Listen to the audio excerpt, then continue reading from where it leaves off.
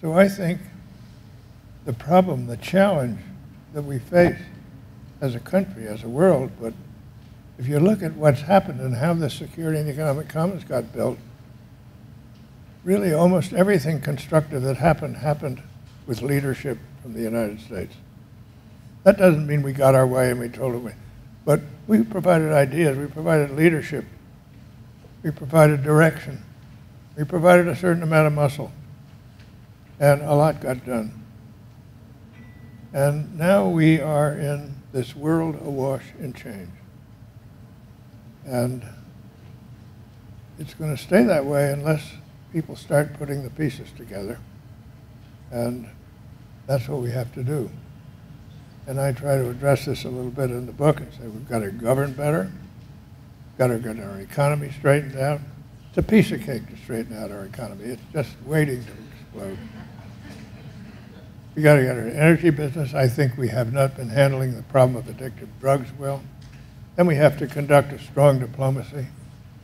Personally, I think we better address the problems of nuclear weapons and the threat they pose. And then we have to realize that we've got to get the United States back in a strong position, willing to lead and with the ability to lead. So as we That's think, an outline of my book. that's, it, yes, now you've got the outline. Have we failed in our obligations to the next generation?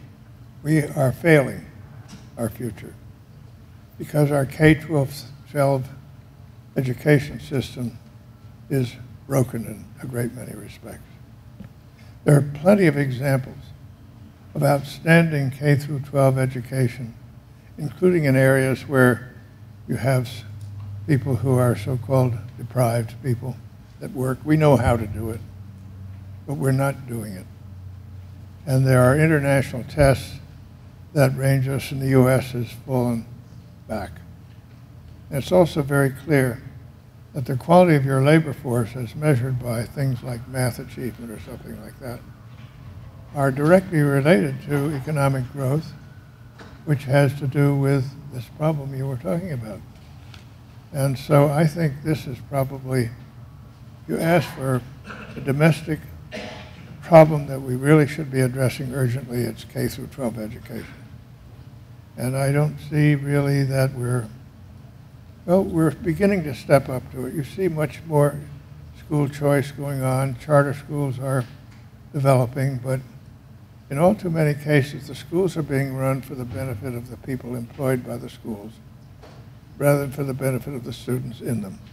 And we have to change that and really get on the ball on K through 12 education. I think it's our biggest issue.